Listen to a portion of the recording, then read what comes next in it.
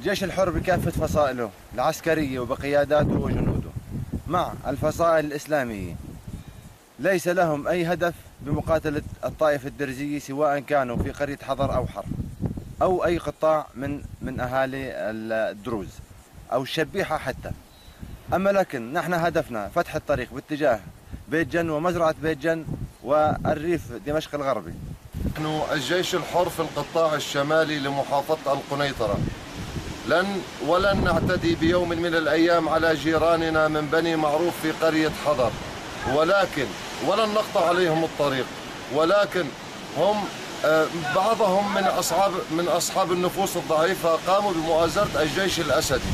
ونقول لهم إن أرادوا أن ينزلوا إلى آه، إلى الطريق أو إلى أراضيهم فليذهبوا وليروا.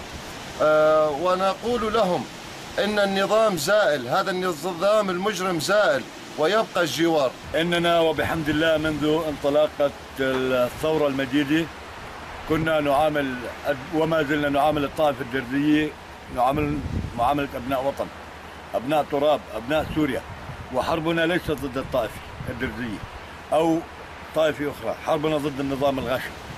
فإننا نوجه آخر نداء إلى الإخوة وما زلنا نقول الإخوة الدروز أن يقفوا على حياد لأن الحرب ضد بشار.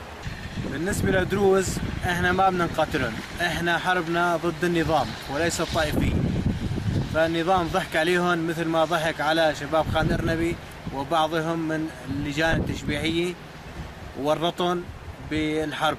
حربنا ليست طائفية حربنا مع النظام.